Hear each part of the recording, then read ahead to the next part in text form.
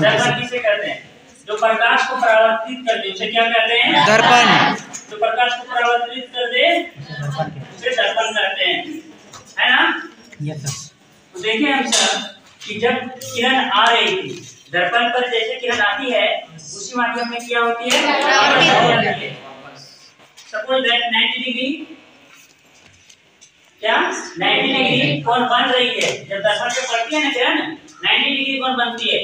और फिर वापस जब चली जाती है तो वह 90 डिग्री ही बनेगी। क्या होगी? 90 डिग्री ही बनेगी। यहाँ तक कोई दिक्कत है किसी को? ये मान लीजिए 90 डिग्री से आया तो क्या होगी? 90 डिग्री से वापस चली जाएगी मतलब परावर्तित होगी। ये कह रहे थे कि दर्पण पर आने वाली किरण को क्या कहते हैं? आपतित किरण। कौन सा किरण कहते हैं? दर्पण पर आने के बाद परावर्तित हो जाने वाली किरण को क्या कहते हैं? परावर्तित। किरण परावर्तित किरण दर्पण के जिस बिंदु पर किरण आपतित होता है उसे क्या कहते हैं? आपतन बिंदु। फिर इसको क्या कहते हैं ये क्या है? आपतित किरण। आपतित किरण ये क्या है? परावर्तित और ये क्या है? ये क्या है? आपतन। बिंदु। ये क्या कौन सा किरण है? आपतित किरण सारे को समझ में आ रही है? ये कौन सी किरण है? ये कौन सी किरण है? ये कौन सी किरण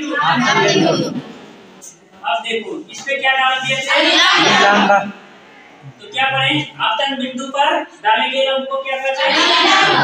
आपतन बिंदु पर डाले गए लंब को अभिलंब। कहते हैं। यहाँ इसको नाम दे रहे हैं अभिलंब। अभिलंब ठीक है?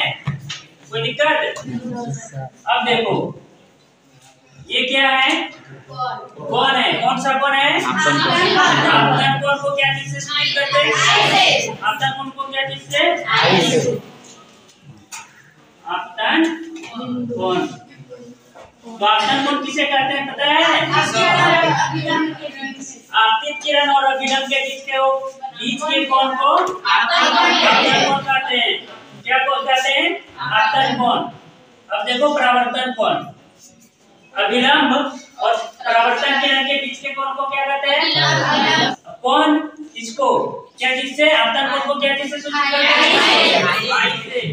परावर्तन कोण को क्या चीज़ से। परावर्तन कोण किसे कहा जाता है? इसको बताएँ?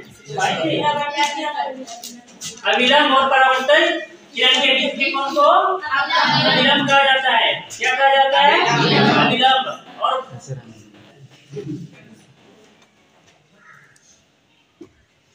कोई दिक्कत है यहाँ तक किसे कहते हैं पता है? किसे कहा जाता है? प्रकाश जब किसी सतह पर पड़ती है तो अपने माध्यम से प्रकाश जब किसी चिकने सतह पर पड़ती है तो वह अपने माध्यम में लुट जाती है। उस घटना को क्या कहते हैं? कोई दिक्कत यहाँ तक समझ में आई है तुम सबको? थोड़ा सा इधर बैठ जाओ। पीछे उधर ना बैठो इधर आ जाओ। पीछे से इधर आ जाओ इस वाले बेंच पे पीछे वाले बच्चे उतना दूर तक समझ में आ रही है तुम सबको? तुम इधर पीछे बन बच्चों को